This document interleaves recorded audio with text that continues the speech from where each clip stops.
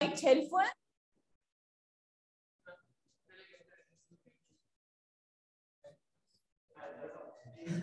Page number. He's telling the page number that we're doing. Where he can find it. Okay, let's uh, look at uh, our uh, book also.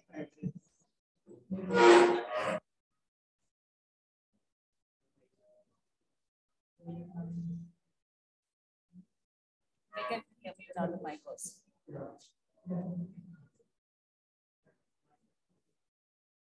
So Oliver Lutkins, they are looking for, but uh, they're not able to find him. And uh, there is this uh, hack driver, that is Bill Magnuson or William Magnuson. He's quite helpful and he is helping him in any possible way. So they've gone around the whole morning. Where, where have they gone to? First they went to Fritz. That is, they know that he likes to go and play poker. When they reach that place, he has just left, it seems. Then they go to the barbers, right? And uh, the barber is quite annoyed. He said uh, that he has finished uh, all, you know, like uh, I can't lend him more money because he has borrowed so much. They go to another barber's place to look for him. So one place after the other, who both are looking, we have here, yes.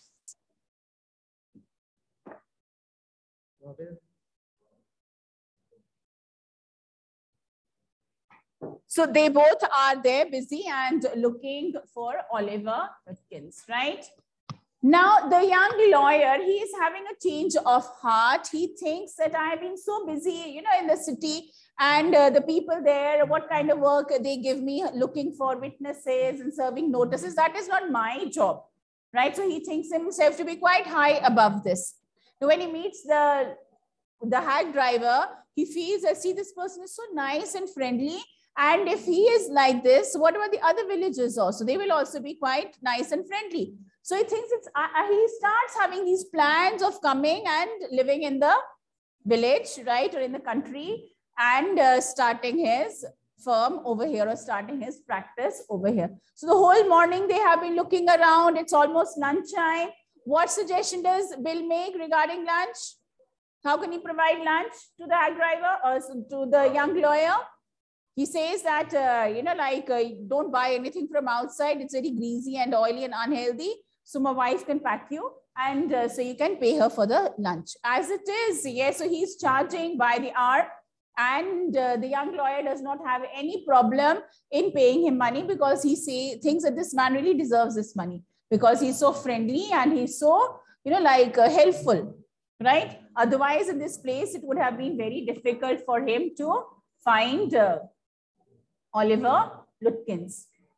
Yes, so let's continue here. We are now on page 50. Yes.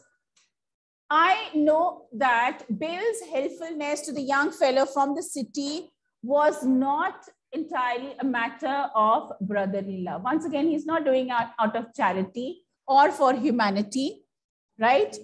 I was paying him for his time in the end, I paid him for six hours, including the lunch hour. At what was then a very high price, but he was no more dishonest than I. So he's being quite dishonest here. He's saying it's okay. If I have to roam around with him two times, three times around the village, I am not paying. Who's going to pay? My firm is going to pay right? And even uh, the cab, the hack driver was also quite clever. He's also there charging for the lunch hour also and making him you know, take rounds of the place. But it would have been worth paying him myself to have his presence. So he really liked this man. He's very helpful. He's very kind, very friendly. So I would have paid him out of my own pocket only. This is what the lawyer is thinking. His cheerful country wisdom was very refreshing to a country boy like myself who was sick of the city. So he didn't like being in the city much. He wanted to be in the countryside. As we sat on the hilltop looking over the pastures and creek which slipped among the trees, he talked of New Mullion and painted a picture in words of all the people in it. So in one day, he felt he knew all the people in the village because yes, uh, Bill was a very talkative person He was talking about his village. He was talking about the people. And yes, the young lawyer was quite attracted that I would love to spend time over here. He noticed everything, but no matter how much he might laugh at people, he also understood and forgave their foolishness. So this we had read, I think so. Yes? He described the minister's wife who sang the loudest in church when she was most in debt, right? She thought that maybe God would hear her. She sang more loudly. He commented on the boys who came back from college in fancy clothes. He told about the lawyer whose wife could never succeed him in getting him to put on both a collar and a tie on the same day. He made them all live. On that day, I came to know New Mullion better than I did the city and to love it better. How well do we know our city? The few places that we go to, right? So if somebody asks you about uh, the city you live in and any other, you know, like things that you have to describe. So we know the places that we go to. We know are familiar with the like uh, certain areas. So here he is very surprised. This man knows almost everyone and he has painted everything so beautifully. He's made a very beautiful picture about the people here. Bill did not know about colleges and cities, but he had traveled around a lot of the country and had had a lot of jobs. So please note down, this is a point worth knowing about uh, Bill, that he had traveled a lot, right? But he did not have much of an education. From his adventures, he had brought back a philosophy of simplicity and laughter. He strengthened me. There are things that books cannot teach you, right? University education cannot give you. Sometimes we learn from experiences. We learn from good times, bad times, so many things life teaches us. Sometimes people we meet, they teach us so many things, right? So here, Bill Magnuson, he did not have a very high, you know, you can say what was not very highly qualified, but he had learned from life. Okay. He we left that peaceful scene of meadows and woods and resumed our search of Oliver Lutkins. We could not find him. At last, Bill cornered a friend of Lutkins and made him admit what he guessed. Oliver's gone out to his mother's farm three miles north. We drove out there laying plans. So he spoke to a friend and please note the pattern. Did the lawyer talk to any of the villagers? Who was doing the talking? Bill was doing. So he was not, okay? Right? And we'll come to know later on why this was happening, why he was not talking to anyone, okay? We drove out there laying plans. So he's spoken to one of the villagers. He's saying he's gone to his mother's house. I know Oliver's mother. She's a terror. So she's a very strict lady. Bill sighed. I took a trunk out there for once and she almost took uh, my skin off because I didn't treat it like a box of eggs. She's about nine feet tall and four feet thick and quick as a cat, and she sure can talk. I'll bet Oliver heard that somebody's chasing him and he's gone on there to hide behind his mother's skirts. Literally. We'll, we'll try her, but you'd better let me do it, boy. You may be great at literature and law, but you haven't had real training in swearing. So, right, so about his mother, they've heard so many things. She's a tall lady. She's a big lady, right? And quite a scary one. And in fact, she was angry at Bill once. He took a trunk for her and she was angry that why didn't you handle it delicately? Why didn't handle it carefully? So she says, let me talk to her. Once again, who's going to do the talking? Bill is going to do the talking, right? The young lawyer is not going to talk. What excuse does he make this time? What reason does he give? You don't know much about life. You can't deal with tough people. I know how to deal with them. You have your lawyer's degree, you've studied in a college in the city, but you don't know how to deal with people from the village. So he's given this excuse now. Right. We drove into a poor farm, farmyard. We were faced by an enormous and cheerful old woman. Who's the woman? His mother, right? Lutkin's mother. My guide bravely went up to her and said, Who's the guide? Bill. Bill. Very good. Remember me? I'm Bill Magnuson, the carter and hackman. I want to find your son, Oliver. Right? So, who is doing the talking? Bill. Bill is doing the talking. He said, You stay away. She's a very scary lady and a very strict lady. So let me handle her. Okay. So she he's reminding us, see, we've met before. I don't know anything about Oliver and I don't want to. Oliver is her son. Yes. So she shouted, Now look here. We've had just about enough nonsense. This young man represents the court in the city and we have a legal right to search all properties for this Oliver Lutkins. See, he's making him sound so important. And this is what city people like, you know, with degrees and uh, their education. They want to feel important, isn't it? So he said, this man has come from the city. He's a lawyer. He has every right to search your property and to find Oliver. Bill made me sound very important and the woman was impressed. She retired into the kitchen and we followed. She seized an iron from the old fashioned stove and marched on us shouting, You search all you want to, if you don't mind getting burnt first.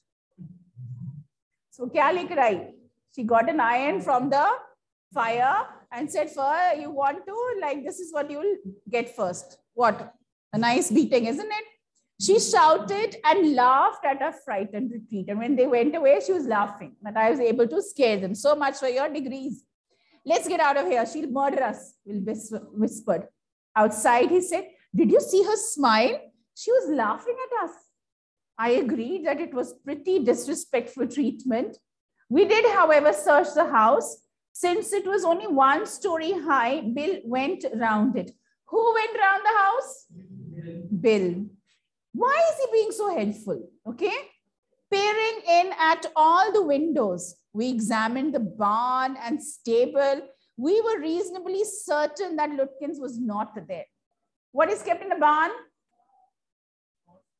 Stable में फिर क्या रहता Cow. Stable there horses. So barn yes. So you have like the cows also said right. Yes. So pigs are in a style right? And so they have uh, all the hay and fodder and all that which is there in the barn, okay? We were reasonably certain that Lutkins was not there. It was nearly time for me to catch the afternoon train and Bill drove me to the station. His day is over and it seems as if he does not mind that he was not able to find Oliver. On the way to the city, I worried very little over my failure to find Lutkins. Office mein dant padegi, he's not worried about that. I was too busy thinking about Bill Magnus, and he is so impressed uh, with this person. Really, I considered returning to New Mullion to practice law just because one person is ready to give up his city life and go there. If I had found Bill so deep and richly human, might I not grow to love Fritz and Gustav and a hundred other slow spoken, simple, wise neighbors? अगर एक person इतना अच्छा तो बाकी के लोग कितने अच्छे होंगे this is what he's thinking, right? So one person representing everybody. So he's thinking all the villagers are so nice if they are like him only. I pictured an honest and happy life beyond the strict limits of universities and law firms. I was excited. I had found a treasure. I had discovered a new way of life. So one person can make such a big difference, right? But if I did not think much about Lutkin's office did, I found them all upset. He's so happy I, I could not find uh, Lutkins, but I met a new friend. But the office is not happy. They did not send him to make friends. They sent him to do work, which he did not do, sadly. Next morning, the case was coming up in the court and they had to have Lutkins. I was a shameful, useless fool. That morning, my promising legal career almost came to an end before it had begun. So, city mein to career kya ho gaya? Almost over because he got such a scolding from the office. The chief almost murdered me. He hinted that I might do well at digging ditches. You go and dig ditches, you're not good for a lawyer. I was ordered back to New Mullion and with me went a man who had worked with Lutkins. I was rather sorry because it would prevent my loafing all over again with Bill. So now they've sent another man with him and this person knows who is Lutkins. And Lutkins is very clever. He has not been responding to any of the notices, right? When the train arrived at New Mullion, Bill was on the station platform near his cart. Strangely enough, that old tigress, Lutkin's mother was there talking and laughing with Bill, not quarreling at all. So that lady, right? So was Lutkin's mother. She was also there. And yesterday she was angry and today she's laughing and talking. From the train steps, I pointed Bill out to my companion and said, There's a fine fellow, a real man. I spent the day with him. I'm so happy about his achievements. He helped you hunt for Oliver Lutkins? Yes, he helped me a lot. He must have. He's Lutkins himself. So who was the driver? And he was searching for why was he not able to find him? Because he himself was Oliver Lutkins and he has made a fool of this young city lawyer. So clever he is. Yeah, of course it is. What? Lutkin is not the lawyer. Lutkin is the person the lawyer has gone to find. He has to give him a legal notice that he has to appear as a witness in an important case. But Lutkin kisi ki baat nahi sun. Right? So they gave him as a challenge, like you go. You're a young lawyer. Let us see if you can do this work. But he was taken for a ride, literally. And now one man has gone with him. I know Lutkins and let us find him. And to his surprise, who was Lutkin standing there in open plain sight? He was not hiding from anyone. He was there, right? Making a fool of this man. What really hurt me was that when I served the summons, Lutkins and his mother laughed at me as though I were a bright boy of seven. Chota bacha. They're laughing at me. He's a kid, you know. He's not a lawyer. He's just a foolish child. With love, loving kindness, they begged me to go with them to a neighbor's house for a cup of coffee. You've come this far, please go to the neighbor's house for a cup of coffee. I told them about you and they're anxious to look at you, said Lutkins joyfully. They're about the only folks in the town that missed seeing you yesterday. So please, बाकी सारे village ने देख लिया से ये रह गए. So I want you to come with me to go to the house and have a cup of coffee so they can also see who is this fellow looking around for Lutkins with Lutkins. Okay, right? So the hack driver is definitely a very very clever, very smart. And he's understood that this man is what, uh, yes, he's young, he's naive, he's uh, what, uh,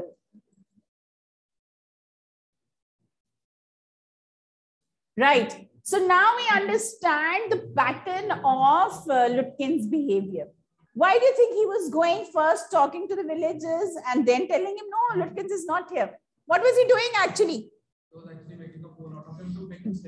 Yeah, so he was making a plan, or maybe he was telling the villagers that this man is there looking for him, and they all had, uh, you know, wherever he was going, telling them that uh, say that Lutkins is not here, let's make a fool of this man. So everywhere they went in the village, it was the same pattern, the same reaction he got. And the next day, right, because maybe, you know, he was thinking, wait, or this Lutkins, he did work as a hack driver, so yes, it was uh, the next day also, the young lawyer went, but with another person. And then her whole plan was, he was charging him money also and he's making a fool of him. He's charging money also. So it was a good day for him. It was not wasted, right? But even then, you know, the young lawyer also did feel maybe the previous day was quite happy that, uh, yes, it's a good day. I have made a new friend. What do you think the lawyer must be feeling at that moment? Achievement or foolish? Yes, ashamed of himself, feeling so foolish. Has he learned a lesson? What lesson has he learned? Don't trust everyone. Because One is okay, not to trust everyone easily. What else? The guy who is being overwhelmingly nice is not always likely what is. Yes, yes, right. And don't share your secrets or what work you are on with.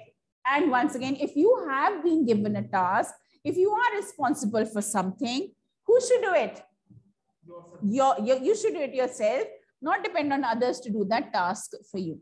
Now, yesterday we had discussed, you know, like here, one thing.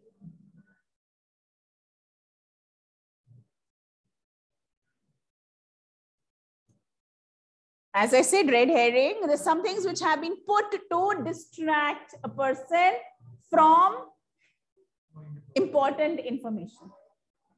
Who was the red herring here? Hardik, I think so. You've memorized the chart by heart every line, every word over there. It's time to read the chapter also. Which book have you opened?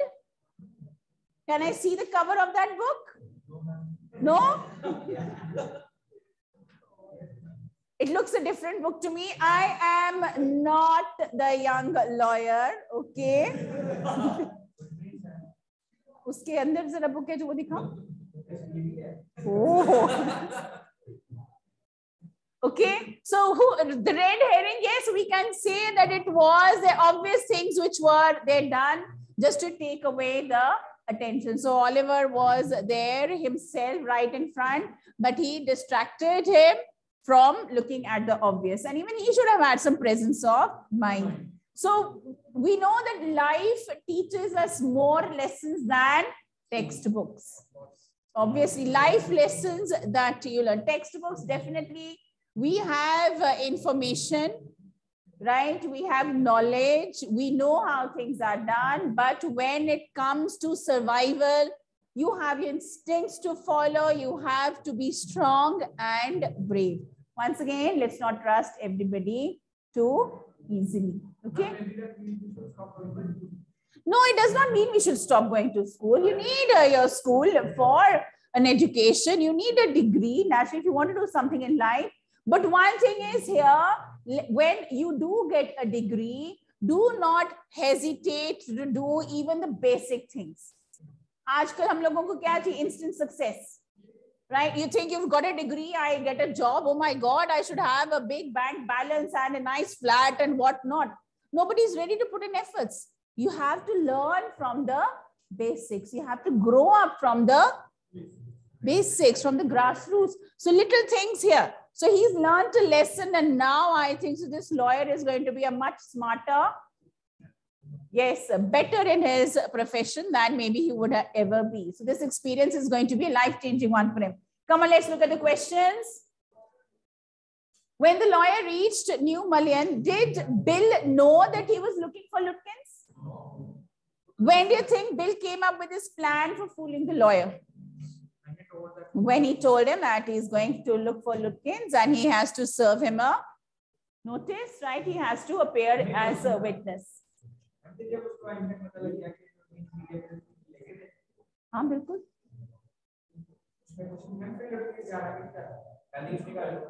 he was avoiding it you know and he was there fooling the authorities and is uh, avoiding them for so long right? so many, uh, you know, like uh, times he had been sent a notice, but he was not responding to it. Sorry. So that is why the lawyer had to go personally to bring him. So he was avoiding it. And uh, that is why.